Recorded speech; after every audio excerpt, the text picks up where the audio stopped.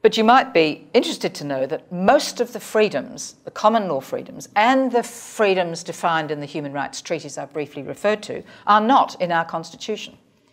We have no right to freedom of speech in our Constitution, a very limited right to vote, even that uh, seen as in equivocal terms by the High Court of Australia.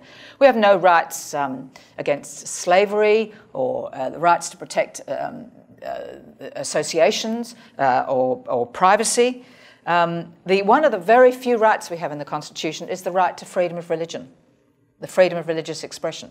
Now, if you'd listened to the debate about same sex marriage, and I'm sure you all did follow that debate, you will know that for the first time in many, many years, we had a debate about whether uh, we needed stronger protections for our freedom of, of religious in, uh, freedom in Australia.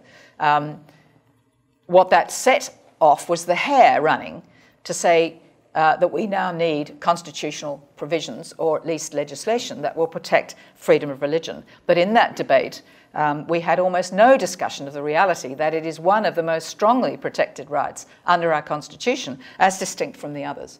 The High Court has implied a right of political communication. It's not quite the same thing as right to freedom of expression. Most critically, the treaties that I described earlier have, for the most part, never been implemented as part of Australian domestic law. So I know that this is um, only perhaps lawyers would, would really see this as important, but it is critically important that you go overseas as our, our diplomats and they negotiate and sign and ratify ultimately treaties. Those treaties make Australia legally viable or, or, liable for breaches of those treaties in the international environment. But unless they are passed by Parliament in the domestic sphere, they do not have any domestic application. And the reality is that while we've been such a good international citizen, most of those human rights treaties have never been made part of Australian law.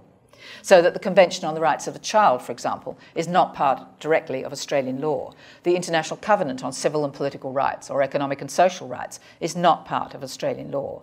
Um, the uh, Refugee Convention was in part uh, included in the Migration Act, but the government, this government, has stripped those provisions of the Refugee Act from the Migration Act, so that the definition of a refugee is now one ultimately for the minister.